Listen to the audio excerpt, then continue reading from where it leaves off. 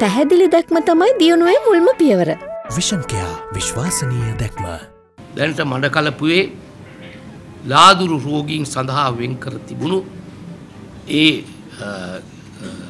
Island එක ඒ දූපතේ දැන් ඉන්නේ රෝගීන් දෙන්නෙක් පමණ එයට සනීප වෙලා සෞඛ්‍ය අංශවලින් එය බන්ධනාගාර දෙපාතුමෙන්තුට පවරාගෙන බරපතල අපරාධවලට අසූුණු මරණීය දණ්ඩනයට හිමුණු ලක්වෙච්ච ඒ සිරකරුවන් ඒතන ස්ථානගත කරලා ටෙලිෆෝන් ජෑම් කිරීමේ වැඩපිළිවෙලක් ක්‍රියාත්මක කිරීම එවැනි ස්ථානයක පහසුයි.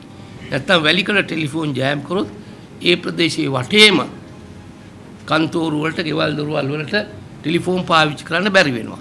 මෙන්න මේ වගේ තාක්ෂණික ප්‍රශ්න තියෙනවා.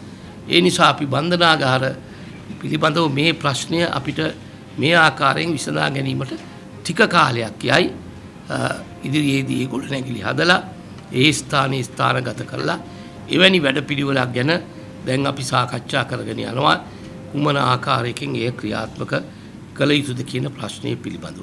.lk